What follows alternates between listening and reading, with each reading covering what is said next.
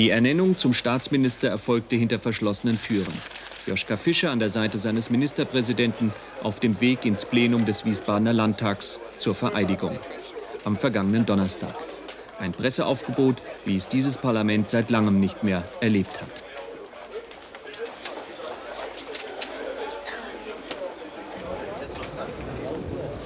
Tagelang wurde in der Öffentlichkeit über kaum etwas mehr spekuliert als über die Frage, was der neue Minister wohl anziehen würde an diesem Ehrentag.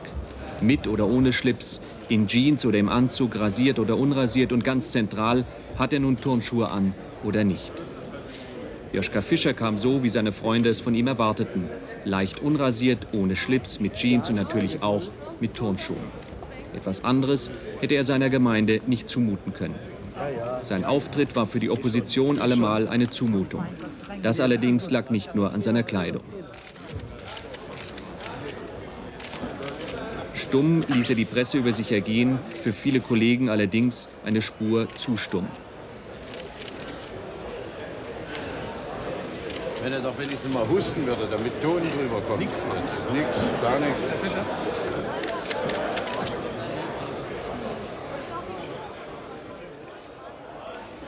In anderen Räumlichkeiten wurde derweil das kalte Buffet hergerichtet. Der Ministerpräsident wollte eine Kabinettsumbildung gebührend feiern, die vor allem darin bestand, dass zum ersten Mal in der Geschichte der Bundesrepublik ein Grüner Minister wurde. Da waren echte Lachsschnitten wohl das Mindeste. Die Süddeutsche Zeitung hat an diesem Tag die Überschrift Staatsakt für einen Rebellen. Der Rebell Joschka Fischer ging 1968 zum ersten Mal auf die Straße in Frankfurt. Die Polizei hat dann angegriffen, obwohl es dazu keinerlei Gewalttätigkeit gekommen ist. Auf der Mainzer Landstraße Richtung Galluswade und zwar wurden wir eingekesselt und äh, furchtbar verprügelt. Das war mit Pferden und äh, zu Fuß und das war alles ziemlich furchtbar. Wir waren da alle sehr schockiert. Die Schüsse auf Rudi Dutschke, kann ich noch sehr gut daran erinnern. Das hat uns alle sehr, sehr erschüttert.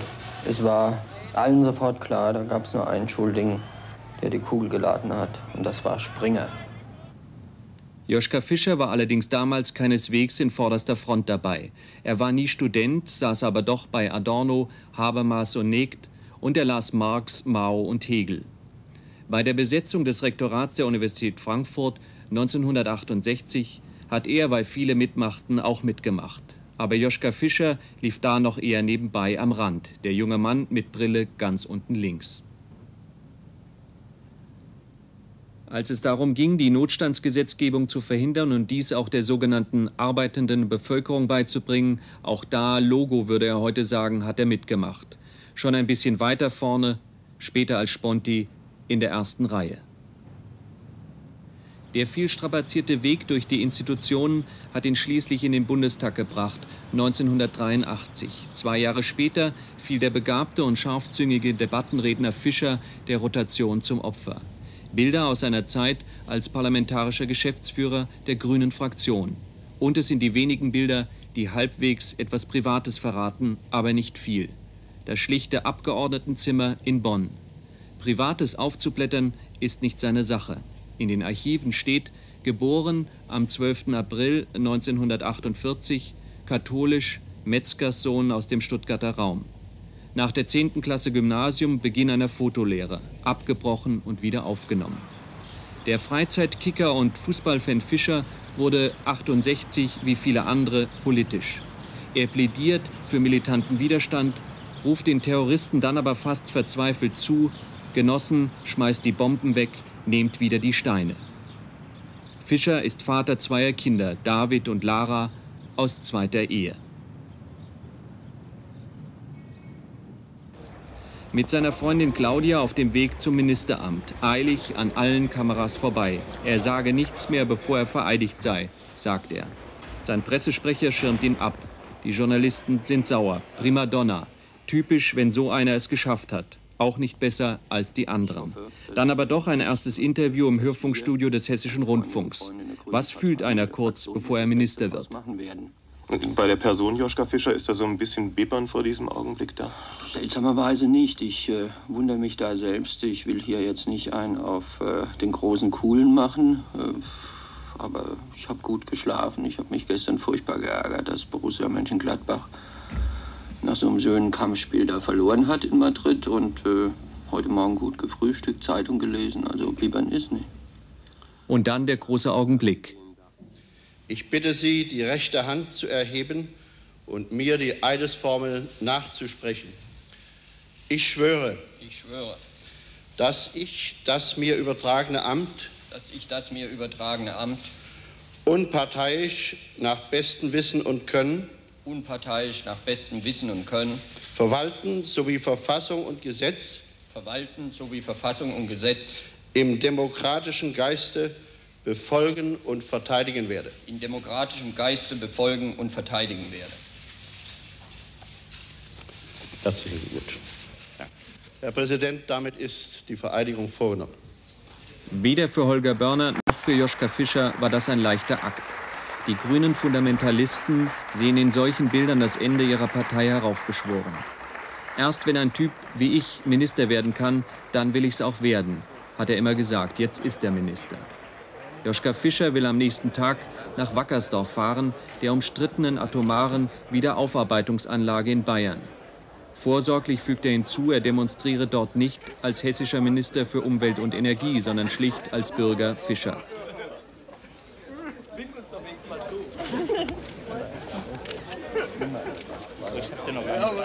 Gratulationskur bei seinen Freunden. Erste Amtshandlung in wenigen Minuten, im grün-roten Kabinett sollen zwei neue Staatssekretäre ernannt werden. Karl Kerschkens und Marita Heibach, beide wie er von den Grünen.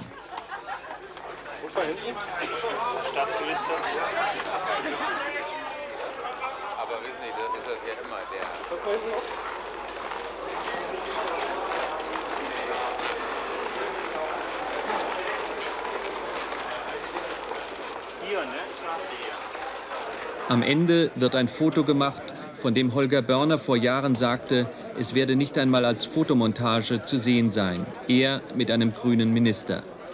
Joschka Fischer wünscht ihm und sich artig, uns beiden alles Gute.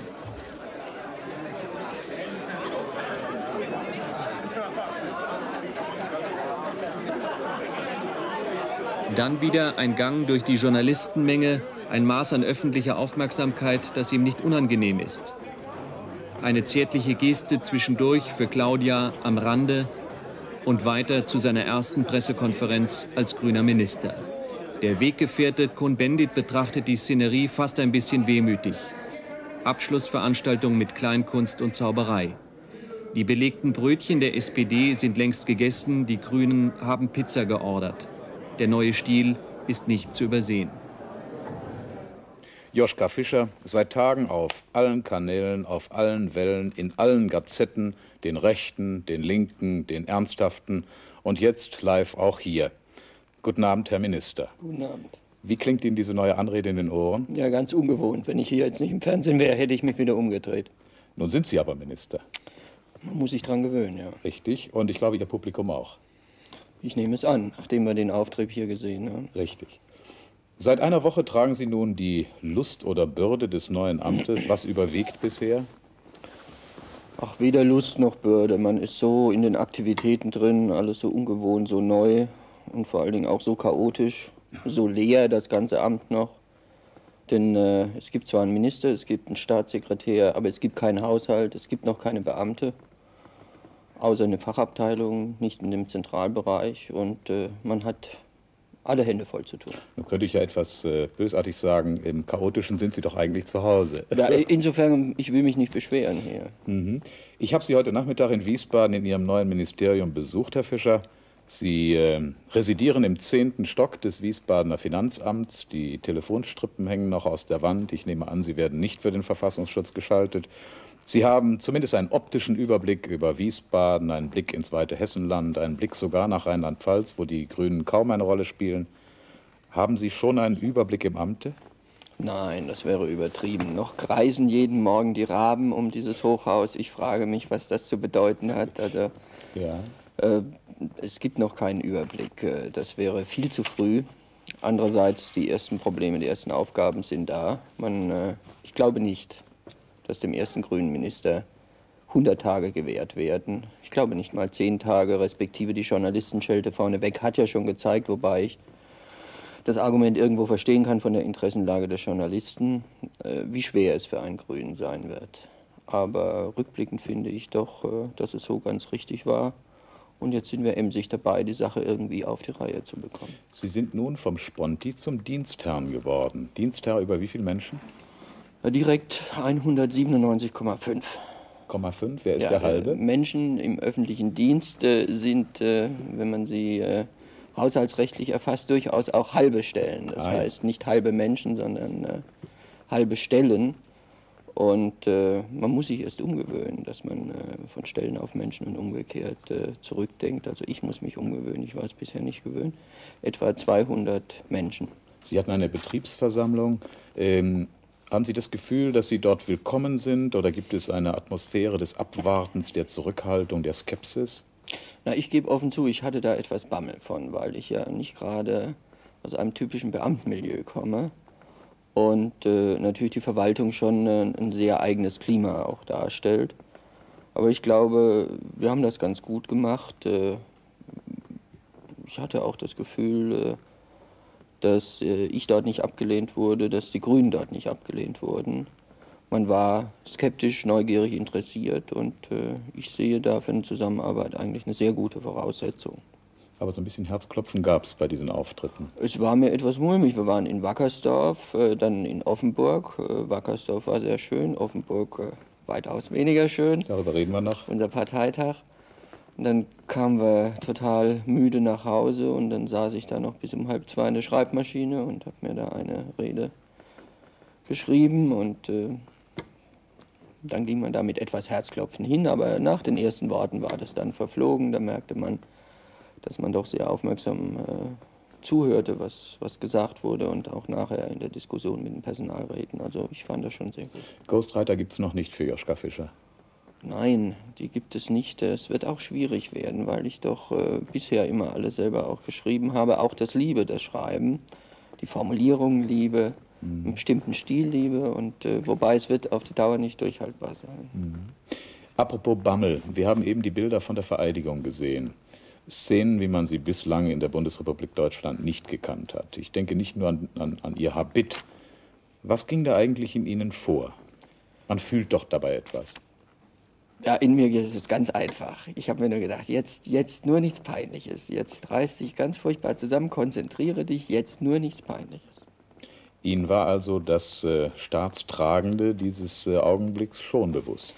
ach Gott, ich finde es nicht staatstragend, ich finde es verfassungstragend. Mhm. Da muss man differenzieren. Ich glaube, dass die Deutschen einen Fehler machen, indem sie Verfassung immer gleich auf Staat übertragen, wobei das einen engen Zusammenhang darstellt, aber nicht unbedingt dasselbe ist. Und äh, ich war mir natürlich an dem Punkt, äh, es war natürlich ja schon ein bestimmtes flaues Gefühl. Ist es richtig, was man macht? Mhm. Ist das wirklich der Weg, den man vertreten kann, verantworten kann? Werden wir es durchhalten? Halte ich es ganz persönlich durch? Kann ich das? Diese Zweifel, die sind mir alles andere als Fremden in so einer Situation. Kommen die natürlich auch, aber dann habe ich mir gesagt, jetzt, jetzt gibt es kein Zurück mehr. Ich musste aber noch so ein bisschen in der Magengrube Ihrer Seele bohren, äh, Herr Fischer, und, und etwas äh, Kess fragen. Sie sind, wie man so landläufig sagt, kleiner Leute Kind. Sie haben kein Abitur, Sie haben kein Studium. Das ist sozusagen die eine Seite. Auf der anderen Seite wird Ihnen selbst von Ihren Gegnern, ja sogar von Ihren Feinden attestiert, dass Sie eine große politische Begabung seien. Hochmögende Leute, zum Beispiel Heinrich Böll, haben Sie für einen großen politischen Redner gehalten. Das sind also so unterschiedliche Ausgangspositionen und Außenbeurteilungen, die natürlich auch eine Rolle spielen, wenn man in dieser Minute vor dem Ministerpräsidenten des Landes Hessen steht und eine Eidesformel spricht. Ja, aber ich habe ja woanders schon mal gesagt, ohne die Erfahrung im Deutschen Bundestag, wo ich zwei Jahre als Abgeordneter war, wo die Situation am Anfang vergleichbar war, die chaotische Situation mit der jetzt, weshalb ich das alles viel gelassener sehe als damals im Jahre 1983. Also ohne diese Erfahrung, dass die anderen auch nur mit Wasser kochen und dass man nach drei Monaten eigentlich schon ganz gut äh, miteinander auskam und dass man nach einem halben Jahr die sogenannten etablierten Entzugserscheinungen gehabt hätten, wenn die Grünen wieder weg gewesen wären. Mit dieser Erfahrung auch in der Ausschussarbeit, in der parlamentarischen Arbeit, mit dem Reden vor extrem gegnerischen Versammlungen, vor Leuten, die ganz anderer Meinung sind und sich trotzdem dort äh, durchsetzen. Also mit all diesen Erfahrungen im Hintergrund habe ich mir das jetzt zugetraut, sonst hätte ich mir das nicht zugetraut. Sie haben den Deutschen Bundestag mal sehr despektierlich eine unglaubliche Alkoholikerversammlung genannt, also offensichtlich doch eine gute Schule. Ja, ist, äh, mittlerweile trinken die wieder alle Mineralwasser. Aha. Das dürfte ja wohl eine der spannendsten Wochen Ihres Lebens gewesen sein, Herr Fischer. Wenn ich bedenke, am letzten Donnerstag wurden Sie Minister, ein paar Tage drauf äh, hatten Sie eine Ihrer schlimmsten Niederlagen auf dem Parteitag der Grünen in Offenburg. Das muss man alles unter einen Hut kriegen in wenigen Tagen. Also ich will jetzt hier nicht in Politikerhabitus verfallen und Niederlagen wegreden, aber die schlimmste war es, weiß Gott nicht. Das war eine Niederlage, zum großen Teil auch eine selbstverschuldete. Warum? Und äh, ja, die Realos, also die Reformisten in der Partei, Ihre Gruppe. meine Gruppe, die hier in Hessen die Mehrheit haben, die hatten nicht nur keine schlechte Taktik, die hatten überhaupt keine Parteitagstaktik, wie man so schön sagt. Bei uns sind die Parteitage offen, da ist nicht vorher festgelegt durch einen Vorstand, wie das abläuft. Das finde find ich auch gut. Und zum Zweiten gab es keine glaubwürdige personelle Alternative zu Frau von Dietfurt. Und äh, so ging das dann äh, eben in den Orkus. Aber ich glaube, letztendlich wird sich das als ein Pyrrhussieg herausstellen für die Fundamentalisten. Denn äh, praktisch haben sie keine Alternative anzubieten zu dem Weg ökologischer Reformen, den wir versuchen zu gehen. Der sicher mit Risiken behaftet ist. Ich sage immer, es ist eine Gratwanderung. Gerade jetzt hier in Hessen. Wir werden vor ganz schwierigen Entscheidungen ziemlich kurzfristig stehen. Nicht nur für Sie, eine Gratwanderung auch für andere, für Ihren großen Partner. Der wandert mit auf Natürlich. diesem Grat. Zweifellos. Herr Fischer, Sie haben eben gesagt, dass Sie gerne schreiben. Sie haben ein Buch geschrieben mit dem schönen Titel von grüner Kraft und Herrlichkeit, sei es drum.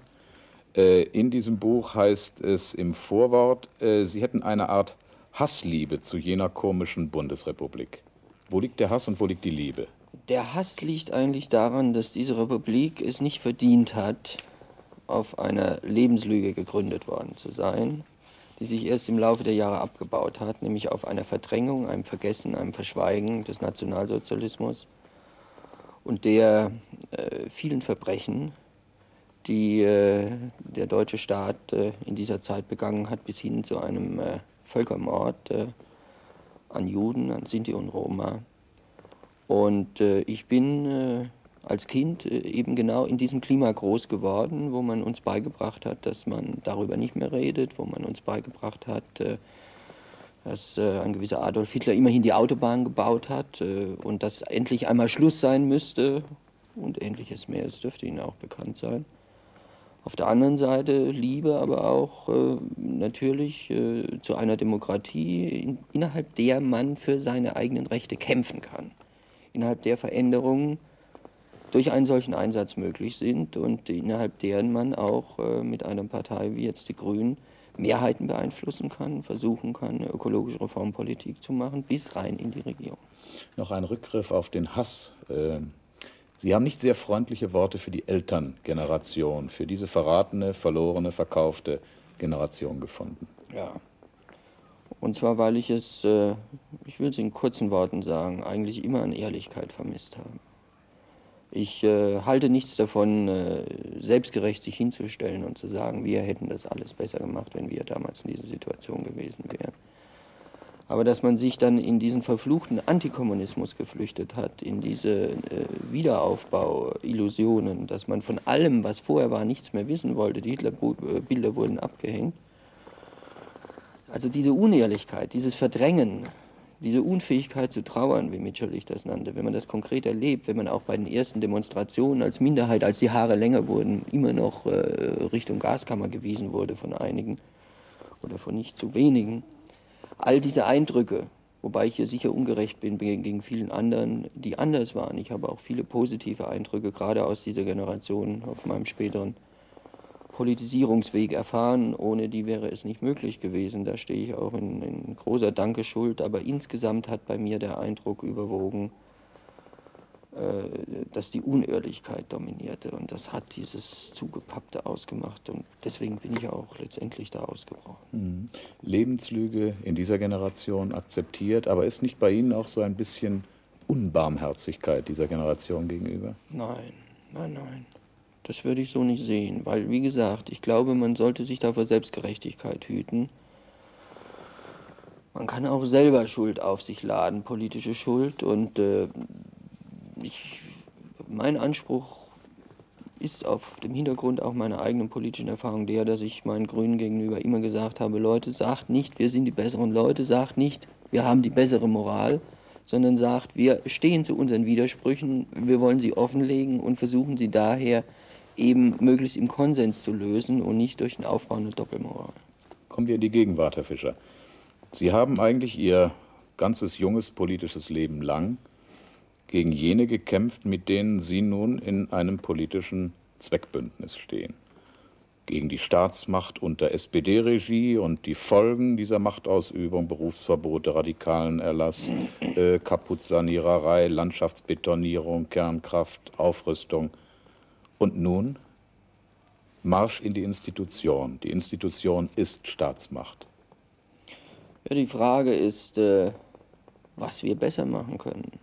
Und das ist, wenn Sie so wollen, die Hauptverantwortung, die jetzt auf mir lastet ob wir es schaffen, hier wirklich äh, eine andere Politik von oben her, und als Minister ist man nun mal von oben und nicht mehr von unten, von der Straße her, ob es gelingt, hier wirklich äh, für die Umwelt, hier in Hessen, aber auch Impulse darüber hinausgeben, an den entscheidenden Punkten Reformen durchzusetzen, die eben nicht nur rhetorischer Art sind, die nicht nur rhetorisch von der Versöhnung von Arbeit und Umwelt sprechen, sondern die wirklich mal Entscheidungen durchdrücken, die eindeutig für die Umwelt gehen. Das wird sehr schwierig. In diesem Bündnis ist ein klarer Zielkonflikt durch zwei Parteien vorgegeben. Ich finde das auch gut. Die Grünen sind nicht die SPD und umgekehrt die SPD nicht die Grünen. Die einen mehr für Arbeit, Strichwort traditionelle Industrialisierung, traditionelle Politik mit ökologischen Rändern, ökologischen Umorientierungen, die ich nicht abstreiten will. Auf der anderen Seite die Grünen eindeutig ökologisch orientiert, oft nicht äh, sehr an der Realität äh, äh, der Mehrheit äh, orientiert, aber dafür Anwalt der Umwelt, Interessenvertreter von Umwelt äh, und Überlebensinteressen. Dieser Zielkonflikt, wenn man den äh, kreativ hinbekommt in der Regierung, könnte ich mir vorstellen, dass für beide Parteien und damit für eine andere Mehrheit in diesem Land was sehr Gutes bei rauskommt. Mhm. Nun haben Sie gestern die erste reguläre Kabinettssitzung gehabt. Ich stelle mir das nun ganz, äh, ganz plastisch vor. Man sitzt nun miteinander am Tisch. Der Regierungschef hat das Sagen, er ist der Chef dieser Konferenz auch. Und es ist jener Mann, der äh, zum Gebrauch der Grünen vor kurzem noch Dachlatten verwenden wollte. Und äh, Sie haben ja als Sponti und Gegner ihn auch nicht geradezu geliebt. Wie geht sowas? Ach nein, da war ja die letzte Zeit der Tolerierung, hat er schon moderierend, mildernd auf beide Seiten gewirkt. Ich glaube auch, dass das mit dem Dachlattenzitat äh, eine verbale Kraftmeierei war. Aus dem Alter war er raus. Es war vielleicht eine Reminiszenz an vergangene Zeiten auf dem Bau. Im Kabinett ist es ganz einfach, geht es eigentlich zu wie in einem Parlamentsausschuss. Es ist eine Arbeitsatmosphäre, es sitzen mehrere Menschen um einen Tisch. Äh, es gibt eine Tagesordnung, es gibt Vorlagen dazu. Das meiste ist schon vorgeklärt. Und äh, da werden nochmals politische Meinungen ausgetauscht. Es wird versucht, Konflikte zu kontrollieren, in den Griff zu bekommen, nicht unnötige Konfrontationen aufzubauen. Ich hatte bei der ersten Sitzung den Eindruck, dass der Ministerpräsident Herr Börner im positiven Sinne sehr bemüht war, ein Klima von Kooperation zu schaffen. Börner hat am vergangenen Donnerstag im Hessischen Landtag gesagt, wir haben einen neuen Anfang gemacht, um die protestierende Jugend von den Mitwirkungschancen im demokratischen Staat zu überzeugen. Sehen Sie das auch so? Wenn es gelingt, könnte ich mir vorstellen, dass diese Demokratie in, ihrem, in, ihrem, in ihrer Kultur, in ihrer politischen Kultur, es als größere Selbstverständlichkeit akzeptiert, dass äh, politisch engagierte Menschen nicht mehr obrigkeitsstaatlicher Erstarrung unterliegen müssen, wenn sie in Parlamenten sind oder wenn sie gar in die Verantwortung gehen, in Regierung gehen, ob auf kommunaler oder Länderebene. Ich wünsche mir auch eines Tages im Bund. Und gleichzeitig ihre Interessen, ihre Grundrechte gemäß dem Grundgesetz bei Demonstrationen, bei Versammlungen, freier Meinungsäußerung wahrnehmen. Ich sehe da keinen Widerspruch. Das heißt, wenn in diese Kult politische Kultur der Bundesrepublik mehr Demokratie einzieht, mehr demokratischer Konflikt, aber auch mehr demokratischer Konsens, der von unten gebildet und getragen wird und in die Regierung reinreicht, auch personell, dann würde ich das äh, eine sehr gute Sache finden. Wenn es allerdings so gemeint ist, dass man uns gewissermaßen äh, jetzt äh, gewaschen und gebügelt dann an den Kabinettstisch setzt und sagt, so, jetzt haben wir sie endlich doch noch ordentlich gekriegt, dann glaube ich, wird das eine Illusion.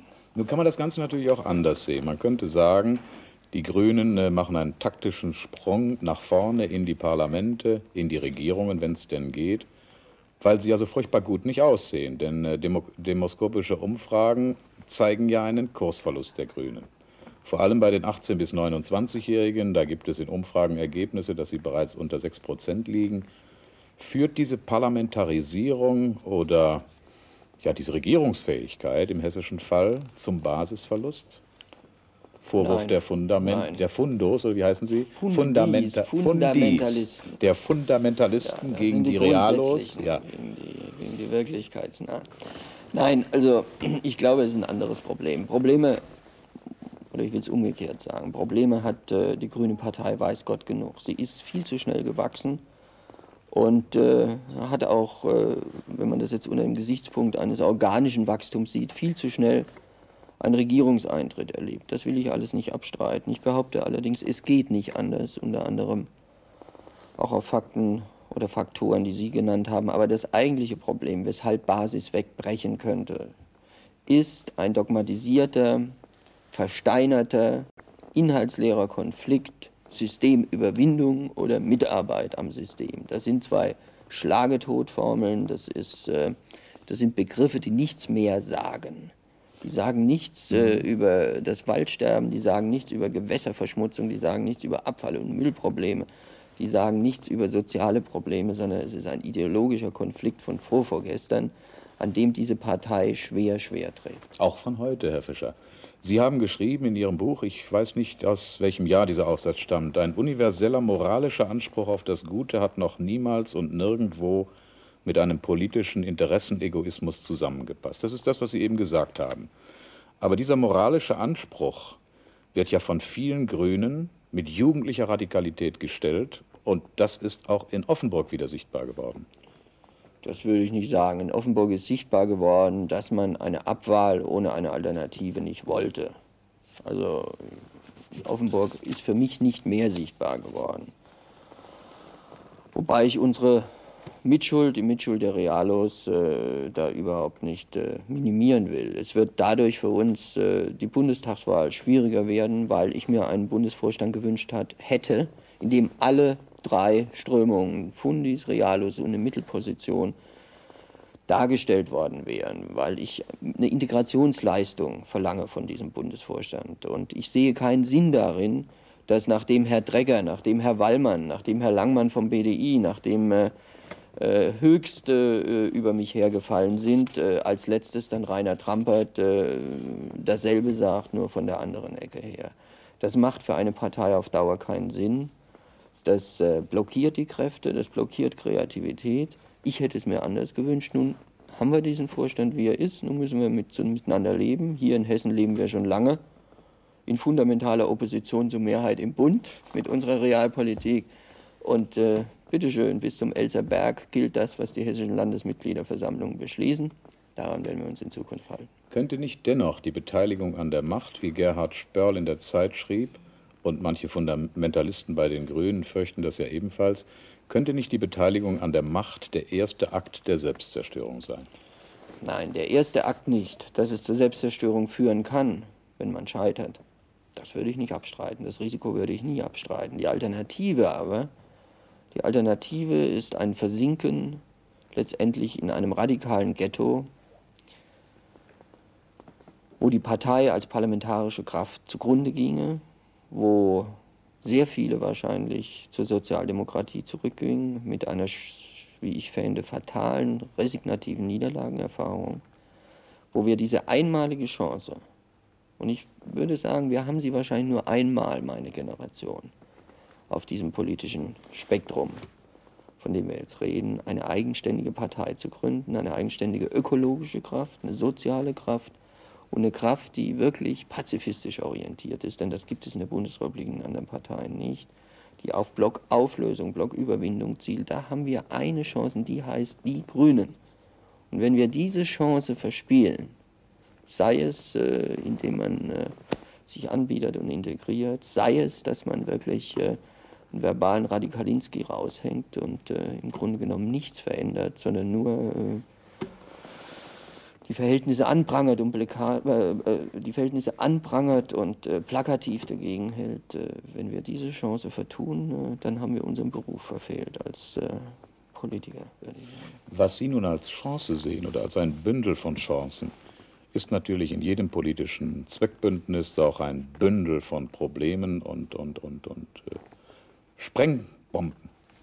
Ah, wollen wir es nicht so militärisch ausdrücken. Sprengbomben würde ich nicht sagen, sagen wir lieber äh, sind äh, Momente, Trennungsmomente. Aber ich finde, also, wenn ich das mal sagen darf, äh, die Gemeinsamkeit etwa zwischen einem äh, Oskar Lafontaine und einem äh, Hermann Rappe in der SPD oder die frühere Gemeinsamkeit zwischen Helmut Schmidt und Willy Brandt oder zwischen äh, Willy Brandt und Herbert Wehner, die waren wahrscheinlich noch von schärferer Güte um es mal gelinde auszudrücken, als mein Verhältnis zu manchen Fundis. Das ist richtig. Äh, christliche Nächstenliebe ist selbst in Parteien, die so heißen, nicht unbedingt ausgeprägt. Die Männerfreundschaften zwischen München und Bonn zum Beispiel. Richtig. Ja. Äh, gut, ähm, kommen wir doch zu dem, was Sie nun erwartet. Ähm, Sie haben heute gegenüber der Deutschen Presseagentur erklärt, was nun Sache sei. Und äh, kommen wir ganz konkret zu einzelnen Problemen, die Sie sozusagen vor der Brust haben. Erstes Stichwort ähm, Hanauer Nuklearbetriebe. Sie haben verlangt, dass das äh, Land sich mit allen Mitteln dagegen stellt, auch äh, gegen die Weisungen äh, des Bundes sich verhält. Sie haben dann gesagt, man müsse notfalls äh, eine Entscheidung des Bundesverfassungsgerichts herbeiführen. Alles klar. Nun aber, wenn das Bundesverfassungsgericht, das ist ja immer möglich, gegen Hessen entscheidet und der Vorstellung des Bundes Recht gibt, was macht denn dann ein Minister Fischer gegenüber seiner Basis?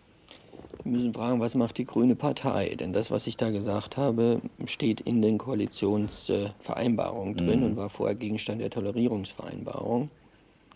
Was macht dann die Grüne Partei? Und äh, meine Meinung ist die, dass dann äh, nur noch der Versuch bleibt, andere Mehrheiten hinzubekommen. Das Denn dann bleibt nur noch Mehrheitsentscheidung sofern man nicht in den Grundrechtsbereich reingerät, wo die Zweidrittelentscheidung oder sogar der unantastbare Bereich äh, gefragt ist, ist in diesem Falle nicht. Äh, man kann das Bundesverfassungsgericht äh, nicht für seine Zwecke instrumentalisieren, wenn man bei der Volkszählung ein Urteil erhalten hat oder mit dem Brockdorf-Urteil ein Urteil erhalten hat, das ich sehr gut finde, dann gab es in der Vergangenheit auch Urteile, die ich grauselig gefunden habe, politisch, etwa das Urteil zum Grundlagenvertrag, ich glaube im Jahre 1972.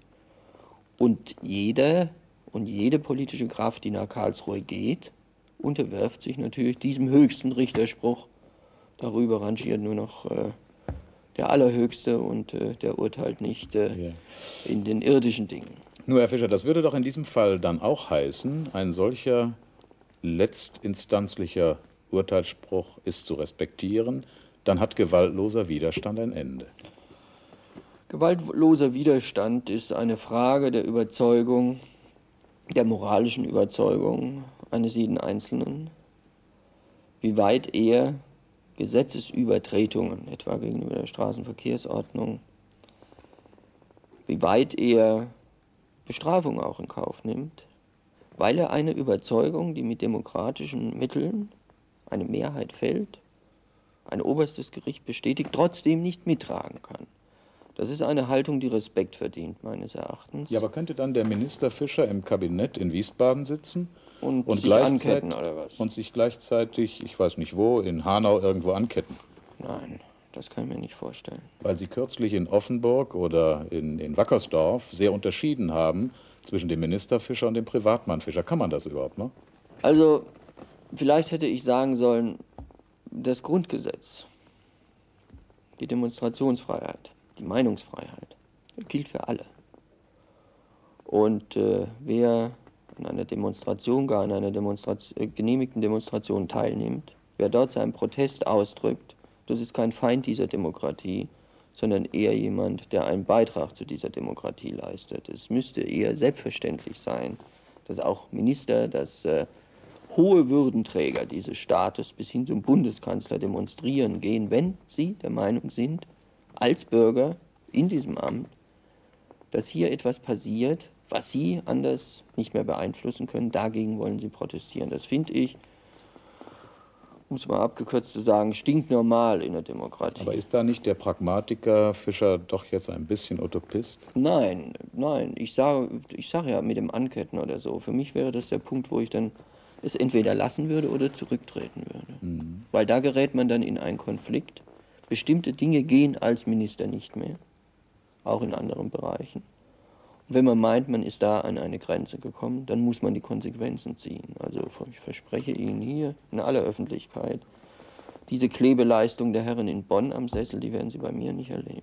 Mhm. Vielleicht kommen wir nachher nochmal darauf, was Klebeleistung angeht. Aber so ein Bündnis, so eine Mitgliedschaft in, einem, in einer Landesregierung, in einem Kabinett verlangt Solidarität der Beteiligten auf der Grundlage vereinbarter Ziele. Dazu sind sie fähig und in der Lage. Zur Solidarität bin ich fähig. Ich bin lang genug. Äh, Nein, ja. in diesem Fall Solidarität mit dem anderen, nicht mit den ja, eigenen ja, Leuten. Ja, ja, ja, zur Solidarität bin ich fähig, auch äh, bei klarer Interessenabgrenzung. Das setzt aber voraus, dass es keine Einbahnstraße ist. Solidarität, äh, die kann man, äh, da kann man einmal betrogen werden, aber dann geht sie nicht mehr, weil dann ist das Vertrauen weg, das Solidarität erfordert. Dann wird es, dann wird es ätzend, wenn das weg ist, weil dann äh, traut man sich nicht mehr. Ich sage immer, Kabinettsdisziplin setzt Koalitionsdisziplin voraus. Wenn wir Holger Börner ernst nehmen, wo er gesagt hat, es wird nicht draufgesattelt gegenüber den Grünen, dann sage ich jawohl, es wird von den Grünen nicht draufgesattelt, es wird aber auch von der SPD nicht draufgesattelt und schon gar nicht abgesattelt. Jeder Versuch in diese Richtung würde ich als zutiefst unsolidarisch empfinden und ich glaube, meine Partei und die Fraktion auch. Noch ein ganz konkretes Thema, wiederum Umweltschutz. Sie wollen eine ökologische Neuorientierung, vor allem in der Abfallwirtschaft durchsetzen. Das ist kompliziert, darauf wollen wir jetzt vielleicht nicht eingehen. Aber Sie erwarten eine Reihe interessanter und produktiver Gespräche mit der Wirtschaft. Für die Wirtschaft sind Sie ein Buhmann, Herr Fischer. Sie machen sich doch keine Illusionen. Reden die überhaupt mit Ihnen? Also ich weiß nicht, da gibt es ja unterschiedliche Meinungen. Die einen äh, waren sehr empört, haben ihrer Empörung äh, Ausdruck verliehen, wenn ich das mal so vornehm sagen darf. Was ihr gutes Recht ist. Andere würde ich nie bestreiten, mhm. natürlich. Äh, mhm. Im Gegenteil, ich würde mich hinterher noch dafür bedanken. Und äh, andere wiederum haben sich zu realos erklärt an der Frankfurter Börse und gemeint, äh, sie würden das gelassen sehen. Nein, äh, ich glaube, man sollte diesen Konflikt äh, entdramatisieren. Ich kenne auch bislang. Man sollte diesen Konflikt entdramatisieren ja. in seinen psychologischen Dimensionen, um den kommenden Konflikt oder die vielen kommenden harten Sachkonflikte dahinter klar zu erkennen. Denn äh, die Funktion des Umweltministers ist es nicht die, für die Interessen der Wirtschaft zu sprechen, sondern für die Interessen der Umwelt. Für die Interessen der Wirtschaft sprechen mehrere andere Minister. Und äh, ich kann mir vorstellen, dass es verständige Unternehmer gibt, äh, die darauf setzen, die auf Reformen im Umweltbereich setzen, die da auch Möglichkeiten sehen, für sich selbst in diesem Bereich etwas zu machen, die begreifen, dass die Akzeptanz in Umweltfragen, vor allem im Bereich von Umweltgefährdungen, Umweltverschmutzung, bei der Bevölkerung zunehmend geringer wird. Aber es gibt auch andere, und ich würde sagen, sehr namhafte, die von einer unglaublichen äh, Dickschädlichkeit diesen Notwendigkeiten gegenüber sind. Und äh, da kracht ein Dickschädel gegen Dickschädel. Einigen von denen wollen Sie ganz tief in die Tasche greifen, denn Sie wollen im Umweltschutz äh, vor allem bei den Altlasten das äh, Verursacherprinzip durchsetzen. Das heißt, mancher Unternehmer muss von Minister Fischer erwarten, dass der ihm Millionen abverlangt für Dinge, die er irgendwann vor 20 Jahren mal auf eine Deponie gekippt hat. Also ob es so einfach geht mit den 20 Jahren, es gibt ja auch zwei Jahre oder noch jüngeres, da kann ich nur sagen, wenn jemand Milliarden verdient und ausweist als Gewinn, etwa in diesem Jahr, dann wird doch wirklich einige Millionen dafür zur Ader gelassen werden können und nicht nur zulasten des Steuerzahlers, zulasten der Gemeinschaft. Das wird in dem Bereich der Altlastensanierung wird es eine komplizierte, auch rechtlich komplizierte Auseinandersetzung geben. Man wird Modelle suchen müssen zwischen Gemeinlastprinzip, Verantwortung der Gemeinschaft. Viele Unternehmen existieren nicht mehr, mittlere und kleinere. Mhm. Andere hatten Vertrauensschutz, die Behörden haben mitgemacht, die Einstellung war eine andere aber auch das Verursacherprinzip, dort wo Verursachung festgestellt wird, wo vielleicht sogar im Nachhinein könnte man fast sagen, fahrlässiges Verhalten festgestellt wird. Das wird eine komplizierte Auseinandersetzung und wir fühlen uns hier vom Bund allein gelassen. Ein weiteres Mal, dass uns Herr Zimmermann, der Umweltminister für den Bund, in dieser Frage allein lässt. Eine Rahmengesetzgebung vom Bund wäre dringend notwendig, denn die Sanierung der Altlasten, sozusagen der Preis der Industrialisierung nach dem Zweiten Weltkrieg, an der alle beteiligt waren. Ich würde mich da nicht ausnehmen. Ich hatte im Jahre 1970 dazu auch noch eine andere Haltung als heute. Das ist eine der großen Gemeinschaftsaufgaben in den jetzt in den ausgehenden 80er Jahren, den 90er Jahren. Enorm teuer, aber das, was da an Zeitbomben, und jetzt verwende ich mal diesen militärischen Begriff, weil die Folgen in der Tat gefährlich bis tödlich sein können, was da an Zeitbomben zumeist in der Erde ruht, nicht schlummert, ruht. Was da an Gefährdungspotenziale für Menschen und Umwelt drinsteckt, da ist äh, der Staat gefragt, äh, da sind die Verantwortlichen gefragt und da sind vor allen Dingen auch die Verursacher. Jetzt redet Joschka Fischer schon in Jahrzehnten, er ist für zwei Jahre im Amt. Heißt nicht, das, nicht dass. Ganz, nicht ganz. Nicht ganz, Nicht knapp zwei Jahre. Heißt das, dass er gerne länger bleiben möchte? Ob ich gerne länger bleiben möchte, das weiß ich noch gar nicht. Ob ich das durchhalte, weiß ich auch noch nicht. Dass die Grünen äh, länger im Amt bleiben müssen, die Nachfolgerin oder der Nachfolger, dass die Koalition über 87 hinaus dauern muss, wünsche ich mir sowohl unter der Perspektive, dass wir gegenüber der Regierung in Bonn eine klare Alternative, und die kann meines Erachtens nur grün-rot sein, mittelfristig aufbauen, aber auch von der Sache her. Umweltpolitik ist äh, im Wesentlichen Planungspolitik. Kurzfristig können Sie da immer nur äh, eine Sache umgewichten, von da nach dort schieben, aber Sie können nicht wirklich was verändern, weil es Ergebnisse von strukturellen Prozessen Einverstanden, Herr Fischer. Aber könnte Sie da unterwegs irgendwo der Blitz der Rotation treffen? sind. Nein. Nein. der Blitz der Rotation trifft mich an dem Punkt nicht. Der würde mich äh, nicht der Blitz der Rotation, sondern der Blitz des Rücktritts, der Blitz des Debakels Oder der Blitz des Wahltermins? und der Blitz des Wahltermins, aber das ist kein Blitz mehr, sondern dieses äh, sieht man auf sich zukommen, da wird man sich vorbereiten, da wird man kämpfen. Ich bin da an dem Punkt äh, eigentlich ganz optimistisch, dass wir da 87 eine schöne Bestätigung vom hessischen Wählerinnen und Wähler bekommen. Okay, Herr Fischer, unsere Zeit ist abgelaufen. Meine Damen und Herren, Joschka Fischer, ich möchte es so salopp ausdrücken, ein Kabinettstück besonderer Art. Mal sehen, was draus wird.